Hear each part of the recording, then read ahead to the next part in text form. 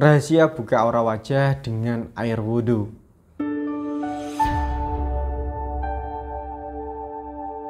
Assalamualaikum warahmatullahi wabarakatuh. Saudaraku, kali ini saya akan bahas bagaimanakah caranya membuka aura dengan air wudhu Ini memang saya khususkan bagi Anda yang seorang muslim.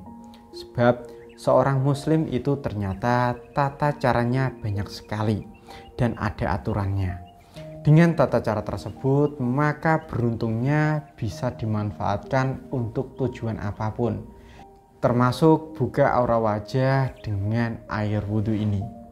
Nah, di sini saya akan jelaskan cara buka aura dengan air wudhu.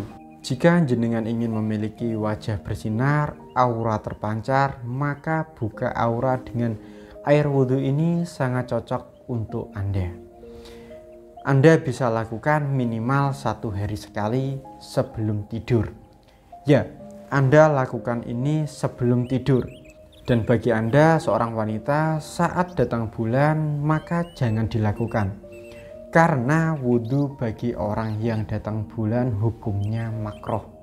Baiklah, saya jelaskan untuk tata caranya. Sebelumnya silahkan Anda niat terlebih dulu, kurang lebih niatnya begini. Ya Allah, aku niatkan buka aura wajah dengan air wudhu ini. Lalu mulailah jenengan berwudhu. Setiap kali Anda pakai air untuk berwudhu, rasakan bahwa aura Anda terbuka. Terlebih ketika Anda sedang membasuh muka saat berwudhu.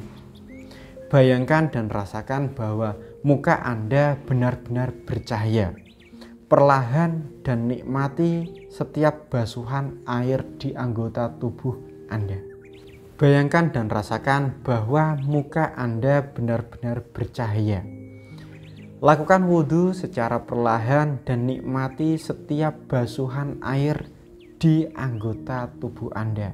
Karena Anda benar-benar menikmati wudhu Anda, maka bisa saja wudhu Anda waktunya sedikit lebih lama mungkin bisa sampai dua menit atau bahkan lebih karena Anda benar-benar menikmati wudhu yang Anda lakukan.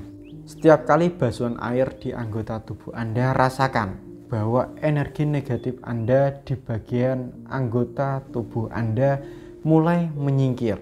Misalnya Anda sedang kumur-kumur, Bayangkan bahwa energi negatif itu keluar bersama air yang Anda semprotkan saat usai kumur-kumur.